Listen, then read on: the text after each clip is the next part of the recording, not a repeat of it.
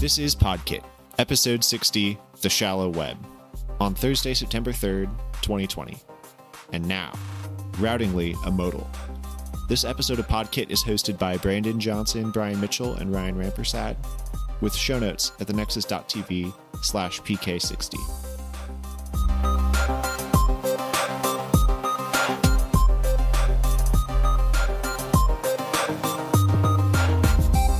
Hey, Podkitters. Welcome back. Hello. How's it going? It's going well. Nice. Well, you know, it seems like time flies here because apparently it hasn't even been a month yet since we did this last. What? Come on. It's amazing. But as Calendars. as Brandon knows very well, it is still March. Nope. March never ends. Just Nope. goes on and on, my friends. Know, You know, in a couple of weeks, we'll be closer to March 2021 than we will March 2020. Thank God. March 2021 can't come soon enough. After all, it's like March 200th. I mean, does the do the marches reset as they stack? Like, is it like um that game with the blocks?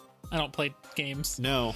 Tetris? I think you can I think you can lop I think you can loop or you can you can lap lap it. That's the phrase I was looking for. You can lap. So it'll be it'll be like March 365th, Oh, 366th. Or does it become Yeah. closer to the next March and then it's suddenly March negative 180? Or, no, not, uh, whatever half of 365 is. That. Oh yeah. Uh, well, uh, we are sufficiently off topic, so let's go back to April instead of March, Perfect. and let's talk about things we were doing in April. Oh yeah. Uh somebody got an iPad. Uh, did, did, No? did Nobody somebody, got an iPad? did, did I think we get got keyboards. Yeah, got iPad we got keyboards. keyboards. And I don't think, did mine arrive in April? I feel like it was May, but it, you know, it could have been April. Who Time is a construct. Yeah, at this point, we nobody has a proof or an- a knowledge of what happened before us. It's true. Uh, let's talk about this real quick. Um, let's start off with Brandon, though. Uh, even though that he's at the end of our show note list here, let's start off with him. You've had an iPad uh, and a modern one at that for quite some time now. Yeah. Also, I uh last June, so so not three months ago, but a year and three months ago, I picked up an iPad Pro um around the time of WWDC.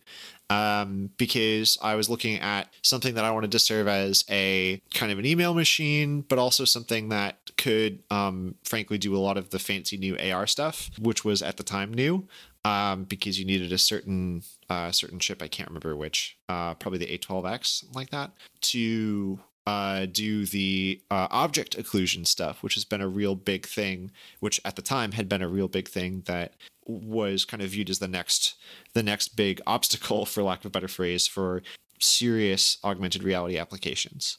Um, because basically, what happened before is if if there was a th- object in the physical world and your um, and you placed a 3D object anywhere in the world, that object wouldn't know about other physical objects. It would just assume that it would be in the foreground. So, like, you could put a cube in front of you, and it would always be in front of you, whether there's a table or a chair or a block or a wall in the middle of it, right? It wouldn't care.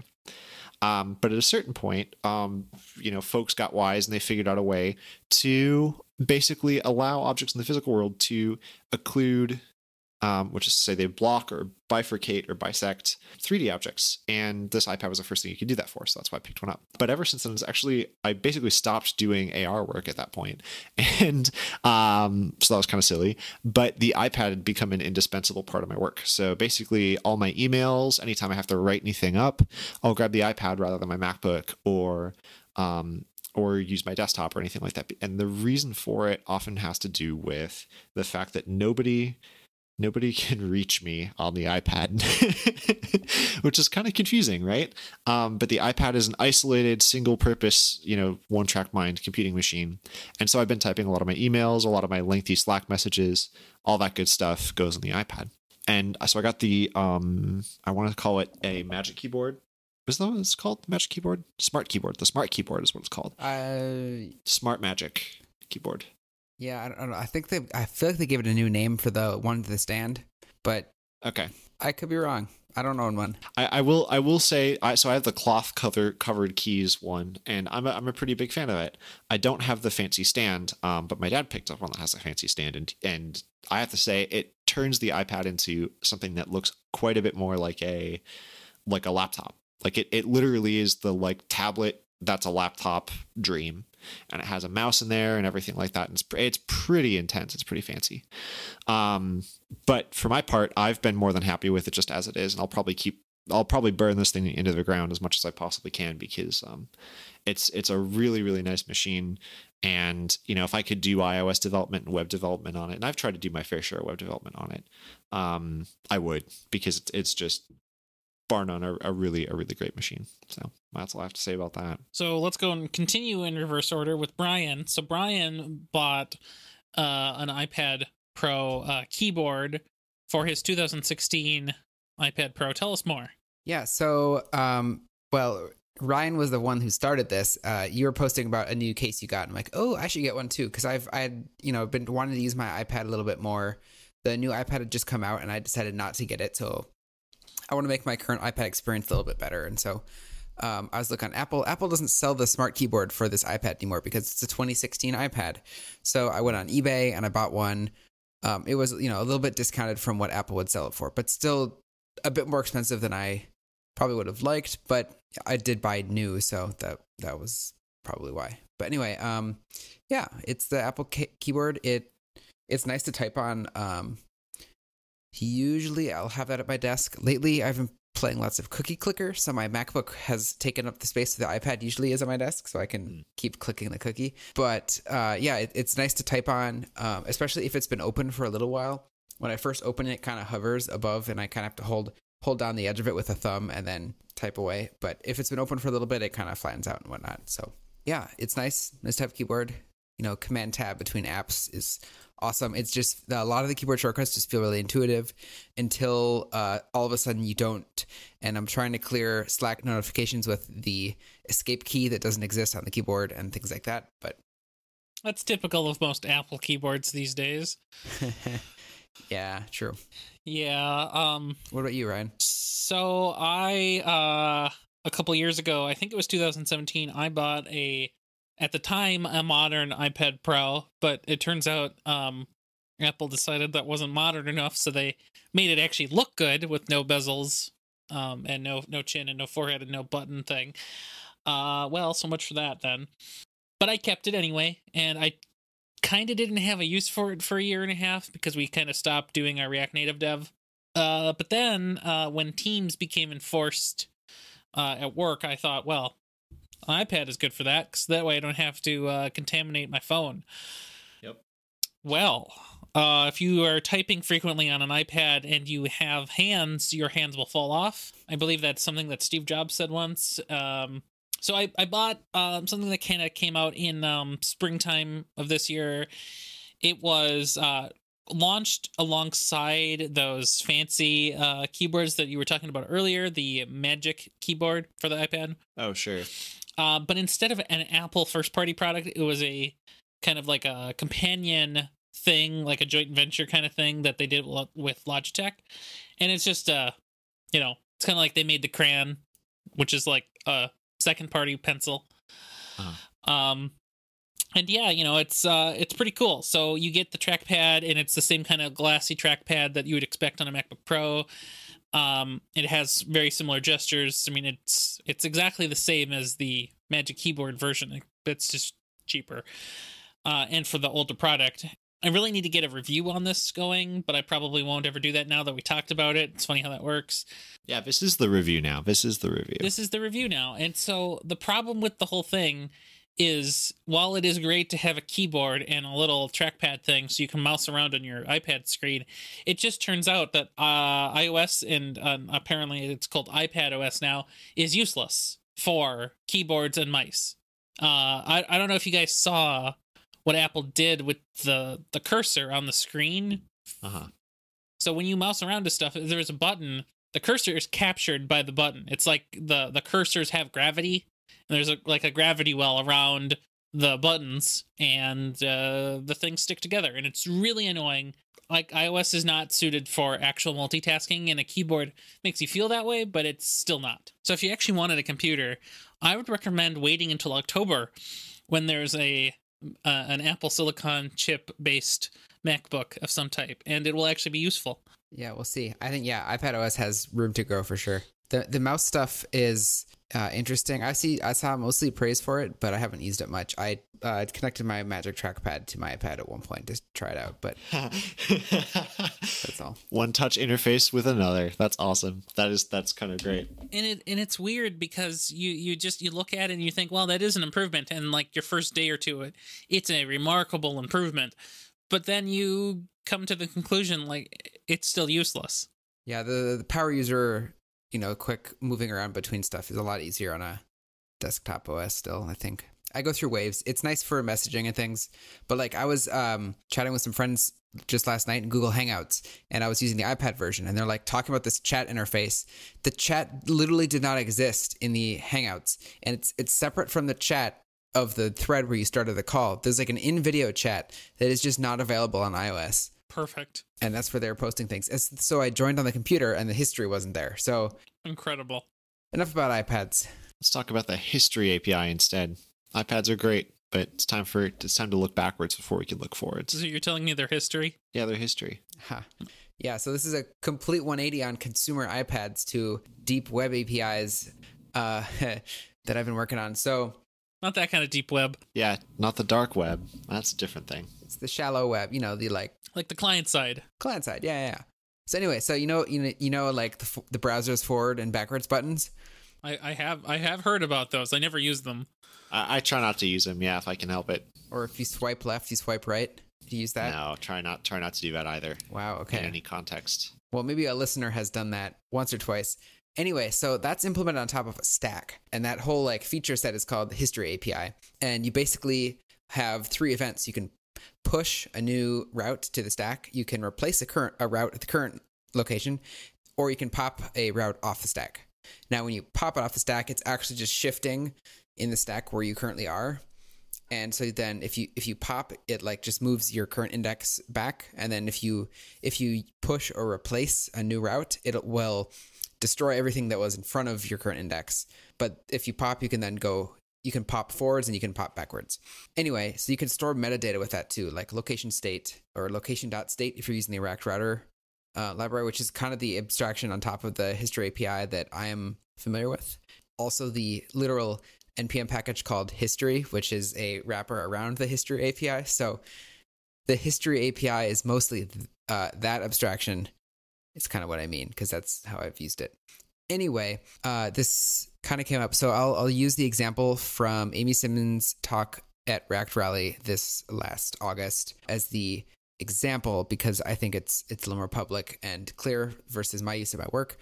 But their example was they uh, she was working on a feature to or in the in the image viewer in the twitter.com site, right? It's a modal.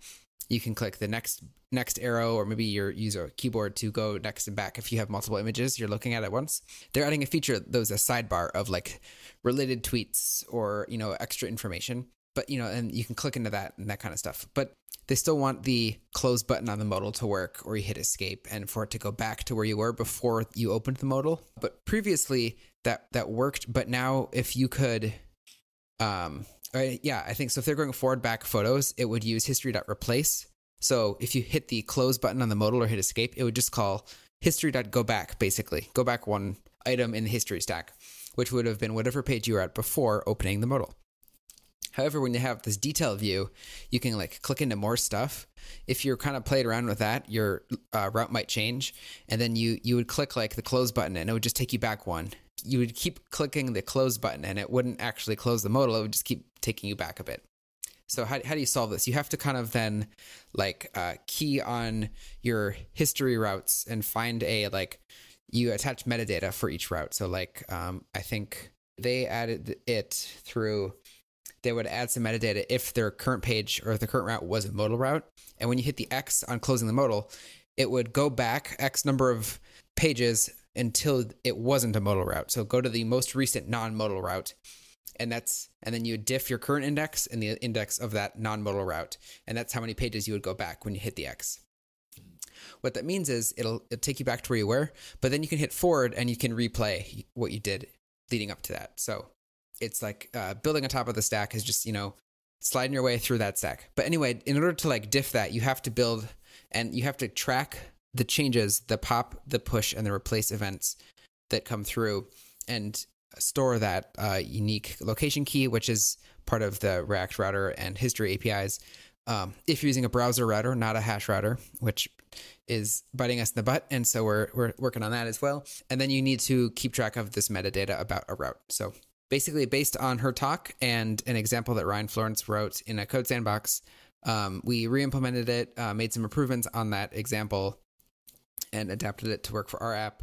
Still developing it, but it's it's quite fun to dive deep into the history API. It's um, I I think I definitely understand how it all works now. It's not so magical anymore. Um, and it, it's awesome to use the app and like to click around, go forward and backwards, and you know we're clicking on some some buttons that are you know roll link. They used to be link, but now they're sometimes they're doing history.push if it's like the first link in the stack, but sometimes it'll do history.go and negative six or whatever if it has to go six pages back.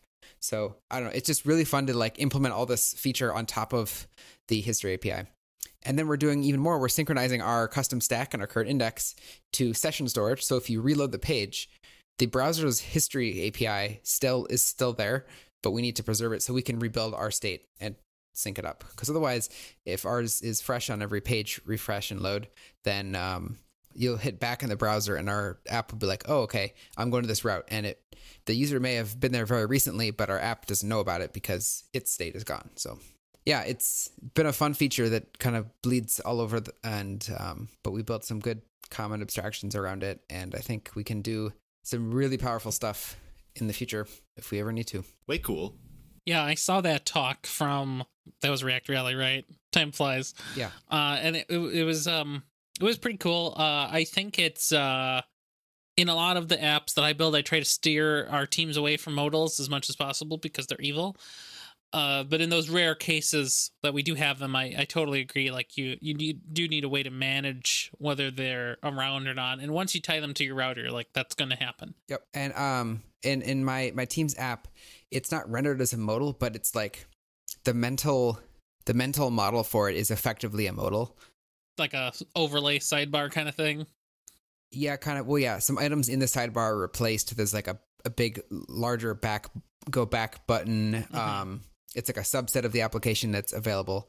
It's um, for like you know I'm working in the logistics industry, and it's you know for like viewing information about a particular like uh, location basically or a lane in the future. You know any any like unique entity that you want to like look at some more information for, and you know it's fully navigable. There's a bunch of different pages and stuff, and it's like it's like you're just clicking a, a current thing, but it's so it's not rendered as a literal modal, but it's effectively and routingly a modal, I guess. Anyway, so that's been fun. Um, still still working on finishing that up. Hopefully, get that finalized next week or two. But more React things. So uh, Ryan and I were talking in Slack the other day, and I was complaining about some testing things, uh, seeing some flakiness with a large component and large component does not portray the scale of this component adequately. Doesn't? Not at all. It, it's a large component. Massive. Lots of styles. Okay, maybe massive. It rendered. I did the math. If I if I copied the DOM output and then ran it through Prettier, it was like thirteen hundred lines of HTML. Um, That's pretty big.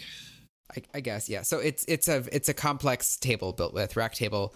Um, there's some popovers for like more advanced metadata changing about, about each column and that kind of stuff. But um, the the library we're using for that is maybe not completely supported by JS DOM and things. So like state is hanging around when it shouldn't be and things aren't closing and there's like multiple popovers open at once in the DOM despite the fact that they're supposed to be closed. So there's just some weirdness and then tests where we'd use the find by selectors with React testing library and it'd be like, oh no, I can't find anything. And it would print out what's currently rendered and it would just say empty body tag. And it's like, well, that's uh it's not good. Where'd the app go? So I don't know what's causing that still to this day. But anyway, Ryan was like, hey, why don't you just use shallow rendering? And then I'm like, no, we got to talk about this on the episode. So that's what this is. So Ryan, where are you coming from? So here, here's the deal. I don't bother testing components because it's a waste of time. There we go. I test APIs and I do end-to-end testing. I don't have time for component tests. I don't care. Now I will component test if it's a pure component in the sense that it's like props in, stuff out, but like that's it. So you, you test the easy stuff, the like static tests. Yep. Yep. Those, yeah, those are definitely the easiest to test. Um, I would say at, at that point you don't even need to use shallow rendering because it's if it's just in out, it's pure. Yeah. So React Testing Library does not support shallow rendering, and React Testing Library is a huge improvement over Enzyme. When Enzyme has adapters for a fully mounting or for mount for fully rendering and mounting a component, and for shallow for using React test renderers, uh, shallow rendering. But when you're using hooks, it becomes very difficult to do shallow rendering. Um, the way they the way they re-render is not completely supported. Enzyme's been a little bit late. Now I haven't used Enzyme a ton in the last year and a half, so I don't know how much of this is super accurate anymore.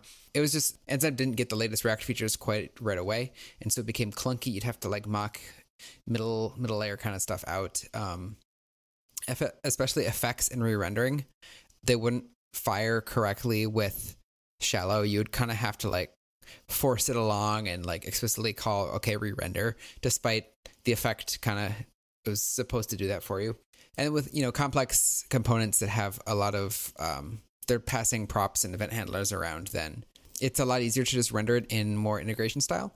And so that's kind of how React Testing Library works. And then you interact with your components as they're as they're rendered in your test environment, um, how a user would. So you're selecting it by text. You're you're selecting by the accessibility role, um, which could either be the element name or if it has the role attribute.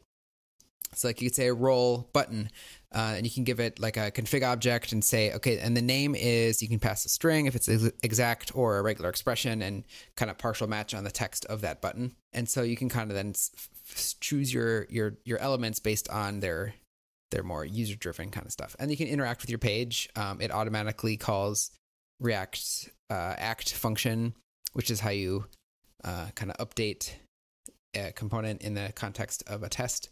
So, like the React test number has a fire event. There's also a user event library that has a bunch of helpers around typing and selecting a select element or that kind of stuff, filling out form values, things like that. So it, it wraps around a lot of the React base APIs. And so it makes it pretty easy. You just kind of like expect some things, do some events, expect some more things. And it's nice and pretty straightforward. Now, for complicated things, it gets a lot more built out, and it's more like kind of workflows from what I found for some of our more most complex parts of the application I mostly work on. But it's it's a lot better than Enzyme, and I think it's a lot more pure because you're you're testing on the rendered DOM output. So how it's implemented in terms of React really doesn't matter at all. We've done full refactors, and the tests don't need to change at all because the end the end result for the user is the same. That was really nice when going from class to functional components with hooks is we could kind of if we wrote our test in React Testing Library, which we started using React Testing Library when hooks were released and we started using hooks. So we kind of had to update our tests as we updated our components. But there were a few cases where we updated the test before the component and super slick to just rewrite your whole component and the test just still pass or for the most part still pass. And but yeah, complicated things, especially around asynchronous events and um, effects re-rendering things and timers. There's there's a lot you have to kind of understand about how the test environment works, how Jest works, and how React renders things. So there's a bit to learn um, when we're getting deep into it, but I don't know. I've been able to wrap my head around it, and I I enjoy it at least. I like it a lot more than Enzyme stuff. Enzyme stuff was very rigid, and you're testing the implementation details. And it felt like it would break all the time. Mm-hmm. Well, yeah, because yeah, you you you change how you build your component. You have to change your test because your test is testing that you built your component in the way you built it originally. Don't test that it renders a specific component. Test that it renders a header with the right text in it or something. I don't know. I mean, at that point, you should just trust that it works. Uh, but beyond that, uh, a funny thing that uh, I did in this regard is I actually bought um, Kent's testing tutorial package thing. Interesting. Never watched a single video. Hmm. Uh, it's about been about a year now. Should really get around to it. I'm definitely revisiting a little bit of that. Um, the the difference for me. So I don't I don't have that particular one, but I've I enjoy the courses on front end masters.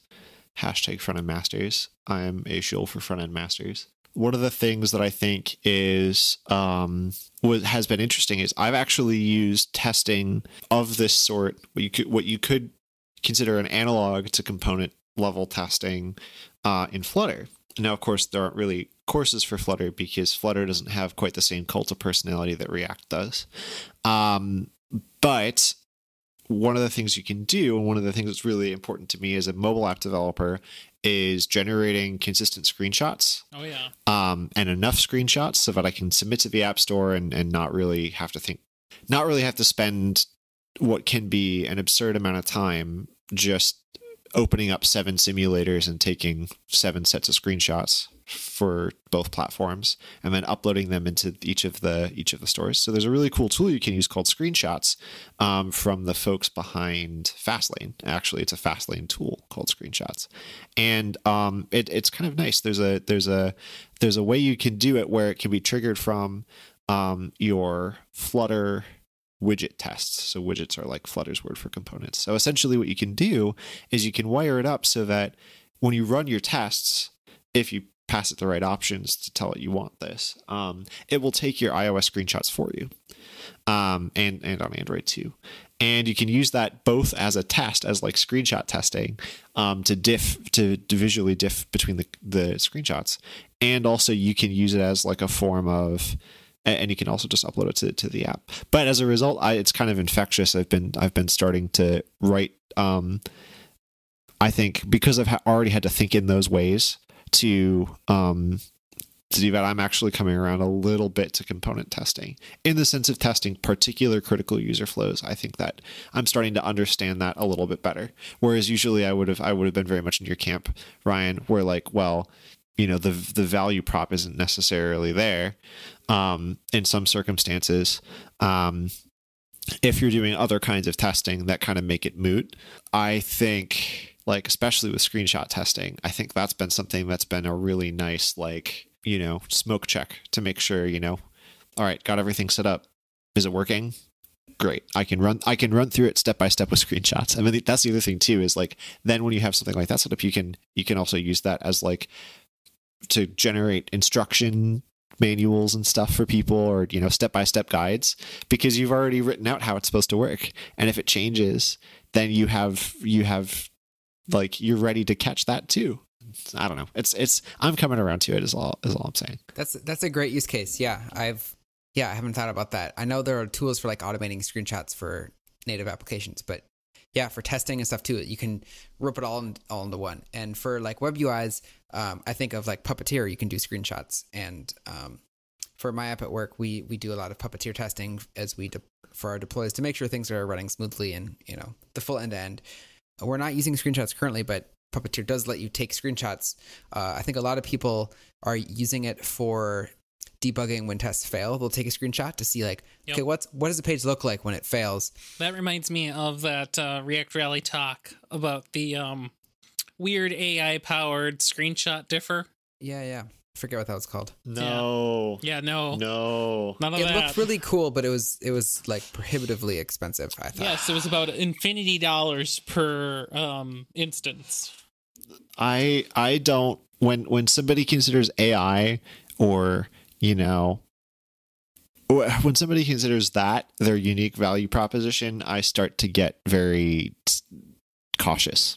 And when I hear that, and then I also hear that it costs a million dollars, then I'm extreme. Then I'm then I move beyond caution into your kind of a pro- uh, you're you're a snake oil person. Um, yeah, a little bit maybe in that particular one, but yeah, you know, it, it, the idea was in a good place. It just uh, was poorly delivered. I think. They, they were selling a service on top of it too, though. So Right. that hosting and management of you know screenshots over time and that kind of stuff. So it was it was more than just the AI model, which seemed pretty nice on its own too. But I mean, you can build it all yourself, but then you have to build it all yourself. So there's there's value to someone in having a product like that. Yeah, but if it's but if it's my snake oil, I know it's snake oil is the difference. If it's somebody else's snake oil, then then there's a then we have a problem.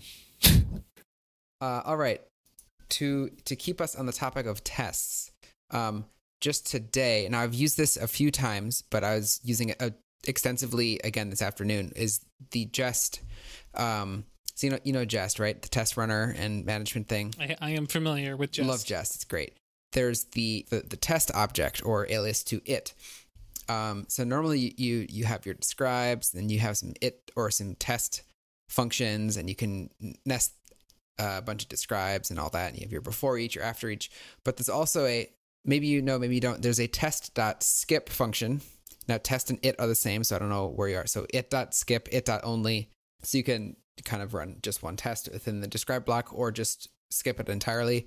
Um, but there's also this test.each function, which is a little bit different than the other ones. Instead of passing in a function, whereas your test, you pass in an array of data, and then that returns a function that you call with. Um, so it kind of basically then returns a test context that it will it'll iterate over your data, and then it'll return like a new test. So you're generating tests from data, and then you can you get you call that function with um, probably like a, a template literal that you can do some string formatting so you can you know generate test and spec names the idea is you have a bunch of test cases that you want to run the same test logic against each case now you could make one test and you put this array of data inside of that test and you map over the each each element in the data and then you just do expect you know data run through your function to be whatever Right. I've done that. but if any one item fails or if the the first thing that fails that test will fail. And you don't quite see the whole picture. So if you instead build tests from the data it'll run it on all items in that data array every time. And it will have a unique uh, test case in the failed test layout. And then it'll format however you want. So it's um, much like a, a nicer interface developer experience. And you can kind of track stuff a lot easier over time the other thing So do you think with um do you think with the syntax here you'd be able to do that thing in jest where you tell it to only run this particular named test from the CLI? Um, I that's a good question. I haven't tried. Maybe because it's using its formatting. So when it prints out Yeah. all tests and things, it is including it like it's just a test you built manually. So I would, I would, Mhm. I would think so. That seems like it would make sense. Cool. Another benefit of this is if you have the same data set and you want to test a few different things based on all the data. So if you have like your your normal condition and then you have like a few one-offs that you want to test on the same data, you can do multiple test.eaches on that data. And so you can do like your happy path, all that data. You can do the the weird case. Does it does it does each one of those things handles the error correctly as well? So or if you have multiple ways with so my, my use case is around parsing URLs and generating a like a, a base URL path that supports all browsers. It's for getting like a configuration in a, in a UI. So we need to support IE. We need to support all browsers. Some of them, some of the apps have a base URL set. So there's a base element in the document head and there's an href attribute. Some browsers don't like IE document.base URI is not defined. So we have to actually go in, read the base element, get the href, and use that.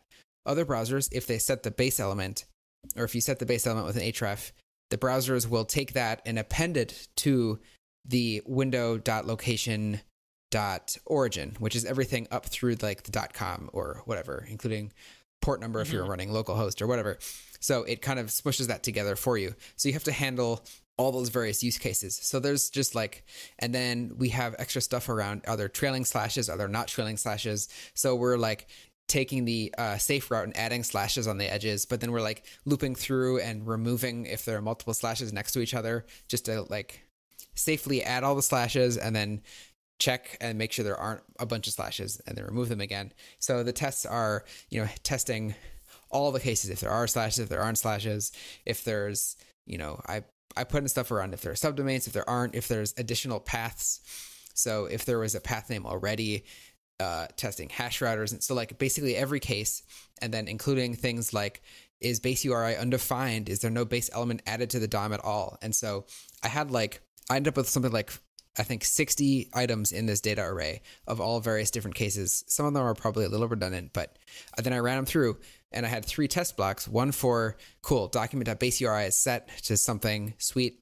One where it's using um, using the DOM base element with an href set, and there's another, and then one with like a hash router, which doesn't really need to be there because it's the way I implemented it. But I thought it would be good to have just for the future. So anyway, it generated like 180 tests in I don't know. I think the whole test file is around 180 lines, but yeah, it was super nice mm. and it runs really fast because it's all pure JavaScript. And That's pretty good. and the nice thing is I didn't have to implement all that location stuff because Jest runs with the URL object. And what does the URL object have?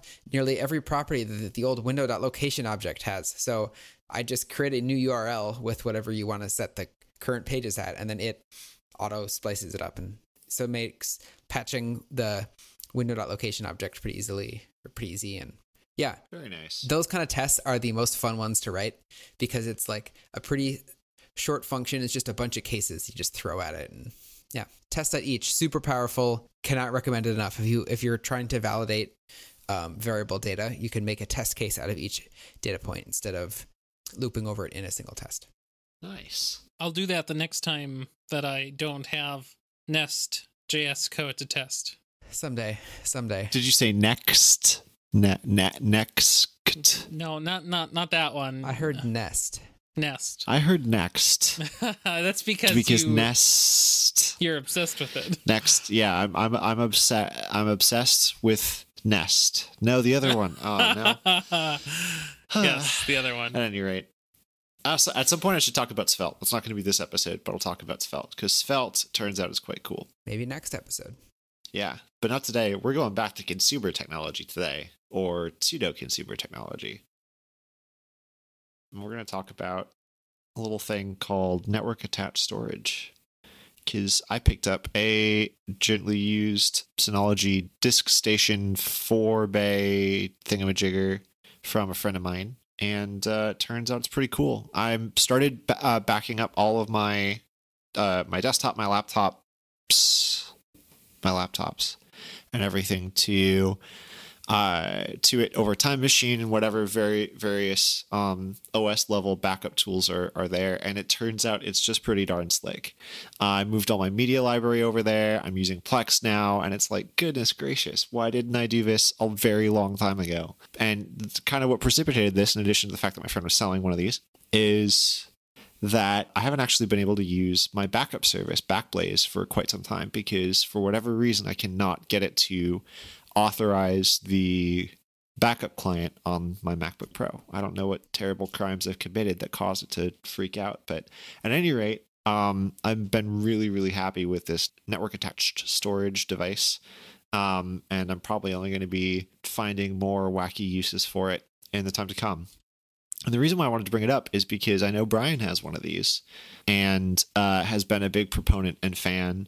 But I particularly wanted to wanted to ask your kind of get your take on a couple of different things. First one being, do you back up your Synology in any way, and how do you do that? I do. So I have a few different things on my NAS, some of which are um, a few movies and TV shows, and the rest are like kind of personal file backups. Um, I, you know, I have old schoolwork from I think sixth grade on. You know, I have random like old websites I've made and various like anything. I have like a 250 gigs. I don't know. I throw like desk like cool desktop wallpapers that I've used in the past and maybe won't use in the future. Like random stuff goes there. Basically, if it's not related to like development work or music or my photo library, it goes in the NAS, which is honestly not very much stuff, but somehow 250 gigs. Um, I back all that up to Backblaze using the Backblaze B2. There's an app on the Synology OS that um, lets you connect to some cloud syncing services. So I created a Backblaze B2 account. The 250 gigs or so, maybe it's a little bit less, cost me about a dollar fifty a month. So it's not too much money. Nice. Um, you know, it does add up over time. I haven't tested downloading it. I think downloading will be a little more expensive, but uploading, honestly, I don't know if it cost me anything. It maybe did. I don't remember if I went up to that rate. Maybe a little bit to upload, like a, you know, a few dollars the first month to upload that much. But otherwise, uh, the Synology app keeps it in sync. So if I add something to it, it just auto uploads it to Backblaze, and it's super slick. And I think Backblaze has like a 30 day snapshot, maybe that if I needed to find something that I deleted in the Synology, I could go download it again. But I've not needed to use that. So Interesting. Yeah, I was I was considering using Backblaze B2 as well. Um, I ended up picking DigitalOcean because that's already going to my uh, to the appropriate charge card that I need to use for it. And I think you know, it's kind of silly. I think the DigitalOcean pricing is free for up to 250 gigs and then one cent per gigabyte after that, which I think is double what Backblaze charges. Which I'm not terribly concerned about, but I, I know from like middle school arithmetic that um there's a curve with these things. And so sure, if it's if it's a if it's a fixed fee for the first amount and then a rate after that, um, there's a point where a lower rate from the get go will intersect with that, and that rate, that lower rate, will win out. Do you have to manage things in DigitalOcean, or do you need to? Are you going to run a VPS and find some so- software that you are running to synchronize it? And uh, does DigitalOcean have large storage capacity? And tell me more. Yeah, yeah. So they they have an they have an S3 competitor called uh, DigitalOcean Spaces, and so what you do is you just use the S3 adapter for the Synology backup system, and point it at the DigitalOcean instance, and it, it works pretty darn well. So I'm I'm a I'm a pretty big fan of that experience because the DigitalOcean product just conforms to the same API as S3, so you can use like I've used it before on other things that are expecting an S3 like interface, and I just write to DigitalOcean because I just like DigitalOcean as a product, as a product company, a little bit better. You know, just in terms of ethical things, I just prefer DigitalOcean to Amazon, given the choice. So that I think has been really cool. The concern is like I'm already pushing. I mean, I just backed up my MacBook over Time Machine to it, and I'm trying to decide whether to disable backing up my backups which seems like a dangerous game. But the reason why I want to do that is because, I mean, if I'm looking at, you know, a terabyte is a thousand gigabytes. Yes. Right? That's true. So a thousand pennies is 10 bucks. So per terabyte, that's 10 bucks a month. That's not so bad. In storage? Yeah, it's true, right? All that math kind of made sense. So yeah, I guess in that at that point I don't really care because at that point it's going to be much more worthwhile to keep backups in, in that are available and are you know basically full disk backups of a Synology. Uh, for some reason I did something where I, I think I did the theoretical maximum capacity of the NAS, which I think is seven terabytes, and I was like seventy dollars a month. What? That's absurd.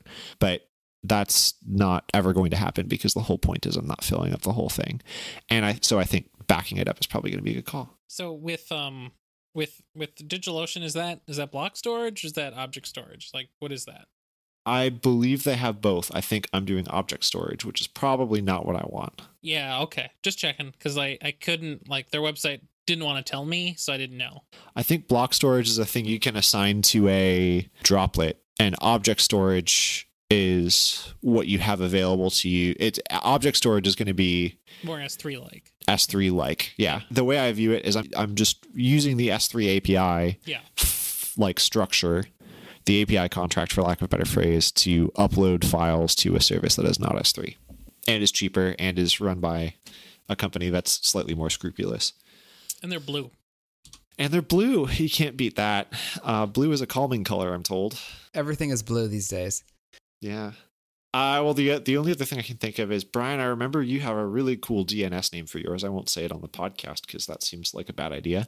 Um, but I I will say that I noticed you did that. You did that really. You set that up, and that was a really cool, um, a really cool thing to do. And I I poked around in the settings, and I saw a couple things that pretended to be potential options.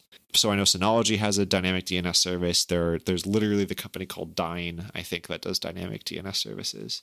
What? How did you set that up, and would you recommend it? So I'm using all free stuff, so that's nice. I did use the Synology hostname thing through their. I forget what they call it. You looked at it more recently. Maybe you remember. It's like direct access, direct read access, read write access, direct name. DirectX. DirectX. There we go. We figured it out. It's DirectX. I don't. I don't remember what it's, It's called. definitely not that. But there, there's some there's some way of doing that, and I so I, I configured that. I never use it. Whatever. So I the first two years I had my NAS, I bought a certificate through Namecheap that was like Ew. a legit certificate. The only certificate I've bought, I did it twice. You know, it was like eight dollars a year or something. So I did that, and I'm like, okay, well, midway through the first year, I didn't, I didn't, I you know, I did another year because it was easy. Um, but um, Synology added support to auto provision uh, Let's Encrypt certs. So that's how I'm doing it now. Uh, there are a couple things you need to note for that. So when I first set up the NAS, I switched. Let's see. I disabled HTTP access. It's only HTTPS. and I'm doing it on a custom port, and I only had that port open in my router. So only that one was seeing the internet. Now, to use Let's Encrypt, it needs to be on HTTP and it needs to be internet facing. So port 80 is open on my NAS and my router, pointing to it, but I think I have the web interface disabled still. Or maybe I have it on and I don't remember. I think I have something that locks it down a little bit that forces HTTPS somewhere in the settings. So that's how I've done it, and that's how it auto provisions. So it just does it on its own. When I open up the Synology app on my phone every like 90-ish days, I have to say like, oh yeah, accept new certificate because it changed, um, or you know the identity is a mismatch. Do you want to accept it? And I just blindly say yes, like like you do with all your certs. Yeah, you Um, it. Terms and conditions. so that's how I do it. And then when I'm on my local network, it's a different host name. So I just, you know, accept all the wardings and use it with a mismatched domain on HTTPS. So that's how I've done that. And then Got it. updating that domain, there's some mode on Synology. I set this up a while ago, a couple years ago. You can allow apps from untrusted sources or something like third party kind of things. Uh, I downloaded some like DDNS, dynamic DNS, uh, updater 2 or something. I had to install Perl and then I installed that thing. Ooh, Perl. And there was some configuration that worked with Cloud uh, Cloudflare. And so that's Cloudflare's hosting the or maybe it was Namecheap. Maybe Cloud I forget which. One it like it worked with the provider and then I like granted API access, created a token for it and then it does the auto DNS updating every 15 minutes or something. Interesting. Now, I also have another home server at home, and that has a different domain pointing at the same IP, and I have a different process running for updating that. If I was smart, I would just have one do it for both, but if I ever want to put Nah. those Nah. servers in different places, they'll just auto update themselves. So that's why I did it separately. So that's how I've set up mine. I can try to dig into it more and send you some deets if you're interested. Yeah, I appreciate it. I appreciate it. I think the thing that's going to be interesting to me too is like I have a I have a VPN um that I use for a lot of my, you know, I have I have a couple of other like resources out there on the public internet that, you know, I I try not to have open ports here. So I, I was I was going to see if I could maybe like site to site VPN the Synology into that and then somehow open the ports on my firewall there. I mean, it's just one big Brandon VPC. Exactly. Yeah, that's basically I'm trying to cobble together like a like a stupid VPC, like the world's worst VPC. so, you know, any any hackers that are listening, I just told you my entire network topology. Thanks. I mean, they would have guessed. They would have guessed I'm not that creative. Uh speaking of not being creative, uh time for me to talk about my Twitter followees and you to talk about yours and you to talk about yours. Uh, yeah, Twitter followees. Let's be clear, I'm the one who's not creative. The rest of you actually followed some cool people. Brandon, you're first in the list. You should go first. Oh no, terrifying. Uh so I followed uh the first account is an account called American Rails because they tweet about trains. And you know what trains are really cool. They tweeted about some French electrical locomotives that were tested out by Amtrak in the 70s, but unfortunately never saw the light of day. Uh, but they look pretty darn cool. And you know what? I like train content on my Twitter feed. So that's why I followed that account. I also followed, uh, refollowed rather, an account called The Heavy Table, um, which probably got caught in my unfollow web of, you know, whatever that was, June, July 2020. But, you know, in part because they were dormant, uh, they uh, shut down, uh, I want to say last year at some point, but they were a, a really neat and, and cool force for food writing local food writing in Minneapolis and St. Paul, uh, and, greater Minnesota as well. Um, and they have really kind of an interesting um, and like really like craft focused take on the industry, which I think is really cool. And you all know that I like my food, so that's what that's all about. Uh, and then last but not least is turn underscore on underscore red, uh, which is a really really awesome pin artist uh, or enamel pin uh, creator who makes these really cool dynamic um, like uh, and when I say dynamic, you know, I guess it's kind of buzzwordy, but they're like it's literally a uh, an enamel pin that has like moving parts. Um, so there's one that's like an emotion selector, and there's a bunch of other ones where it's like, um, you know, there's one that that I picked up that's called that just says per my last email, um, which is uh, uh, as the kids say a vibe. And I really, really like this person's work. Uh, I came across my feed, I want to say a couple days ago, and I was like, oh man. So I, so I, I picked up like a whole bunch of pins from there because enamel pins turns out they're really cool. That is my Twitter followees. How about you, Brian? Nice. I always like some uh, enamel pins. I'm starting to put them on my backpack that I carry around the city, and when I'm like gonna work, you know, from going to the lake or working at a coffee shop or something, you know, non-pandemic times. Anyway, uh, I followed uh, not very many people since last time, since it's only been a month, but I did follow Maggie Appleton or Mappletons. She's works at Egghead and does their art direction and um, kind of design and ske- sketching. Uh, she's worked with Dan Abramov on his um, Just JavaScript series, or I think they kind of worked on it together, so it's co-authorship there. She does a really good way of like visualizing and coming up with mental models for uh, programming paradigms. She's like really phenomenal stuff. Um, she had the first talk at React Rally on the anthropology of React. Great talk. Highly recommend checking it out once they post the videos. Definitely someone to keep an eye on. And she's been featured in a few podcasts like React Podcast and uh, I think Undefined, maybe. Um, great episodes there. Um, next up is Jem Young, uh, same name and handle. Um, he does infrastructure at Netflix um, and panelist on Front End Happy Hour, a podcast I don't actually listen to. I probably should. Yeah, so he also gave a talk at React Rally, but just another um, another front end person in my feed that I like to keep keep that front end coming. So um, definitely recommend following him as well. And last but not least is uh, MDN Web Docs, which is the handle Moz Dev Net. So I followed this around when Mozilla announced all their layoffs. Um, I wanted to stay up to date with the MDN Web Docs news and things. So, because I am a very frequent attender of MDN, do you know they have merch? I need to buy something from there. I did not know they had that. I did not know Get that. their MDN logo on a shirt or some something funny. Uh, so Yeah. anyway, yeah, those those are the accounts I follow. You know, I don't normally find myself asking for a merch link, but you're gonna have to send us one later. I will put one in the show notes. Perfect. Um, while you're doing that, let me tell you about my Twitter followees. For some reason, I followed people uh, recently, and most of these are like organic things. Um, usually, people retweeted something, and I thought, cool, I guess they must be worth following. I don't know anything about them. I don't think I've seen anybody that I'm going to talk about's tweets. So maybe they'll tweet eventually.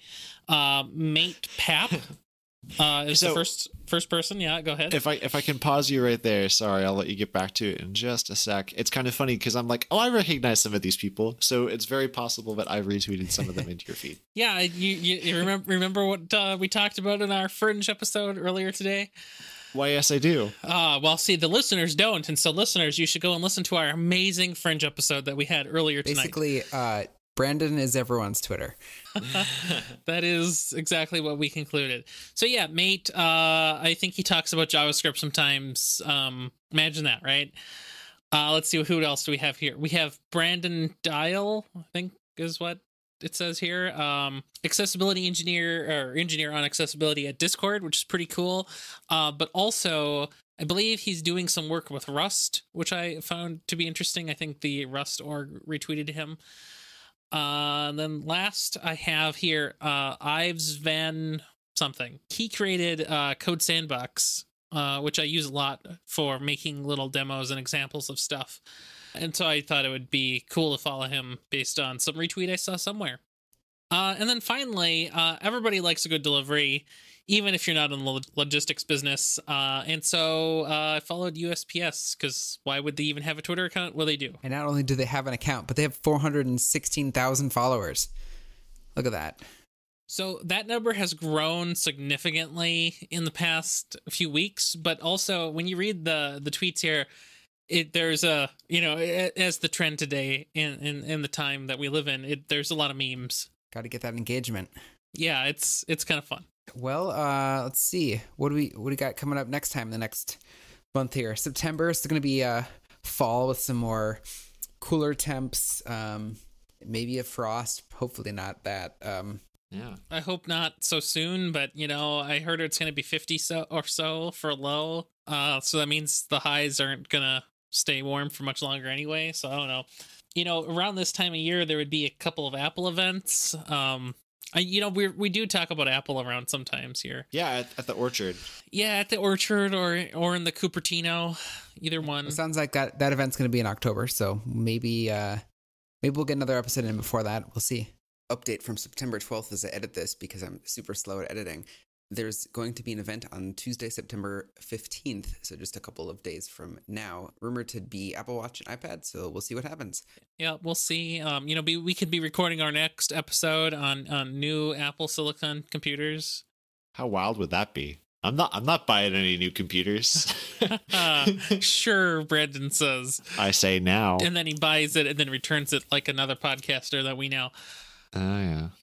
I I would love to do that. Um, yeah, no, that's pretty much my my time. I'm gonna be working. Um, we were talking in one of our Slack channels that we should all take time off. So if you're a listener, you should take some time off. I'm taking Monday off. It's Labor Day. I think that's default. I'm also on call, so how off is it really? Not that off. Yeah, you gotta. There's a tw- Twitter thread I should try to find about how companies treat time off and also on call, and I I agree with that thread, so I should find it. But you know, you know what I'm gonna say, Yeah. so I'm not even Anyway. say it. I yeah, I'm on call for Labor Day and for Thanksgiving, so Oh wow! all that holiday. But the nice thing is that usually means there's a lot lower volume. Though, you know, Black Friday, we'll see what happens there. But I was going to take that Friday off. I don't think I will anymore. No, everyone else will take the day off, which means it'll be a great day to work because it'll just be me and I'll get a lot done. It's funny how that's true. Right? Working holidays is actually kind of nice. Oh, it's wonderful. I've done it. I've never taken the Friday after Thanksgiving off, and I was going to this year, and now I'm not going to. So anyway, yeah, not not too much in September. Other than just seasons are changing, getting cooler. I am not going to the state fair because there's really isn't a state fair. Though I see I saw some photos of people driving through it, There is no buying lots of fair. food, but sitting in their car. That's not for me. That's weird. if if I wanted a traffic jam, I would just drive on 94 Yep. any time of day. Hey. So true. 94, the worst highway. Yeah. I'm, I, you know, I've heard. I have, I have no no personal experience, but you can get a, I think, fifty chicken nuggets from Wendy's for twelve ninety nine. Uh so just just get get your nuggets and then go sit on ninety four, and it's like you're you're at the food parade. Wow. Yeah, I mean, pretty, pretty, pretty much. That sounds about right. Goodness gracious. Well, for my part, um, I'm going to be launching some stuff this month, which is cool. So, you know, I'll be. You can find me on the internet, and I'll be talking about it. Very, very, very likely. Some, some of it might be stuff that you two have already seen, but it'll be kind of fun as stuff gets wrapped up and launched to the world, and then just kind of trying to figure out what the heck is next. So, you know, just closing out the year for me starts now. Closing out the year starts now because we are, get this, in quarter four, Wow. the fourth quarter, the last quarter. And, uh, you know, given the opportunity, I like to take fourth quarter a little bit slow if I possibly can. I think that's a good choice. Yep. Working up to eventually taking the full fourth quarter off. There you go. Which is a thing you can only do if you're a one person shop because if you if anybody else um if you need to pay anybody else whatsoever, they can't and nobody should tolerate not getting paid for the fourth quarter of the year, but if you can figure out how to do it as an individual, it can be pretty sweet. I'm told. I've never done it, but I'm told. One day. Well, uh, uh, where can where can we find you all? If people want to get in touch or see what you're up to. You can find me just about anywhere, but particularly on Instagram, where I'm Brandon underscore MN. And I actually coincidentally use that same thing on Twitter. Switch out the underscore with a dot, and you got Brandon dot MN, which is my website, uh, which currently has not a lot on it, but might be as I launch stuff. Hey, hey, do you, do you think your website's intentionally left blank by any chance? No, that's the other one. That's the other one that's intentionally left blank. It's not only left blank, it's also left unstyled, and that was totally intentional too. There's, there's there's another site that you've been promoting a lot is which is kind of terrifying. Uh, oh no. ter- Yeah. terrifying.us or us. Yeah, terrifying.us. That's a that's a fun that's a fun one. Uh some folks on the internet have made fun of me uh from time to time for my repeated phrases. Uh but any which way. Uh I think the uh Classic. you know, one of the other common ones I use is terrifying and so um, as part of a uh, domain buying frenzy that occurred over the past month, one of the domains I picked up is terrifying.us and uh, you've been slowly updating it from time to time with uh, some kind of funny artifacts of things that are terrifying. And and none of none of the jokes. Okay, well, some of the jokes only don't work in Chrome. So get a get an iPhone, I guess. Yeah, if you're not using Safari, what are you doing? Jeez. Which is it's it's funny because other people are like, oh, you know, like Safari, it's like the IE of the web, uh, of the modern web, and I'm like, you know what? Every time I work on an app, just to spite those people, I'm gonna work very hard to make sure everything I do works well in Safari. That, that's me all the time. Have you like the people who say that haven't worked to support IE? Like Safari is nothing compared to IE. Oh, they have. Right. truly, Yeah.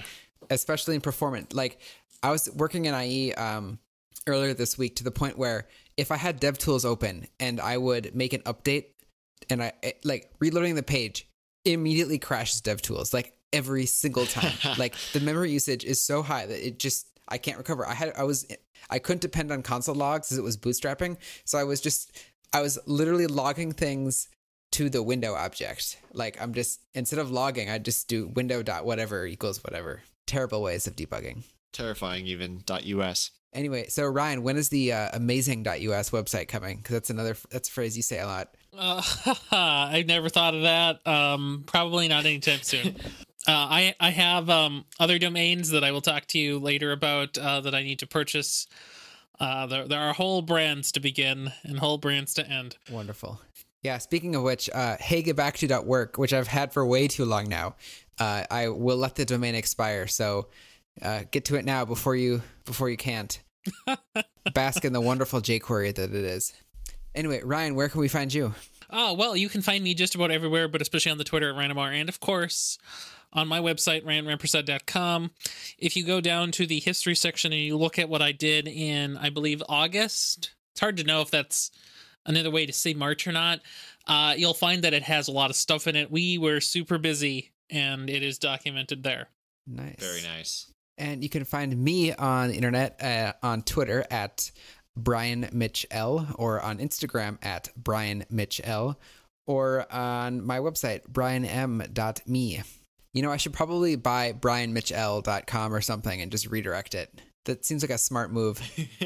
just for consistency, I can just say the one thing. Well, so what you should do is you should do what I did, which is buy ryanmr.com or you know your Twitter handle, and then have it redirect to some random internal Google server, and it just shows you the 404 robot, and that's it. Like that's what it does. Why?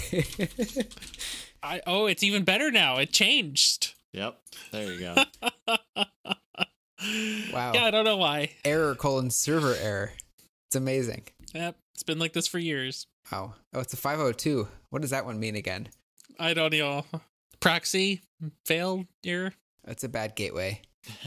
Interesting. Anyway, well, uh, that's our podkit for the day. If you want to find the show notes, you can go to thenexus.tv slash pk60 or uh, swipe over to that tab in your in your podcast player that definitely supports show notes in its full entirety. You can also talk about the episode on our subreddit, which is reddit.com slash r slash the Nexus TV, or our Twitter, which is twitter.com slash the Nexus TV. But if you're there, you should probably just tag us directly, which we have just covered. And then if you like what we're doing over here at the Nexus in the entirety, uh, head on over to our Patreon, which is patreon.com slash the Nexus TV, and uh, give us some tips, I guess. Even if you don't like it in its entirety, even if you just like a little piece, you should still do it. Like, ju- just podkit. Uh, that way, we can make Ian just send people stickers, and that will be um, you'll you'll be able to support the post office that way. Yeah, you get stickers. there we go. Or if, if you really want stickers too, you can find us in, in real life, which is hard to do these days. Yeah, it's gotten consider- considerably harder in the past like eight months. I wonder what that's about. Yeah, I don't know why. I definitely have walked around Uptown and seen people I recognize and like waved hello. That's kind of jarring. You just don't expect to ever see people you know at all these days. In real life, yeah. Anyway, well, that's our show. Have a good one. Have a good one. Ah, have a good one.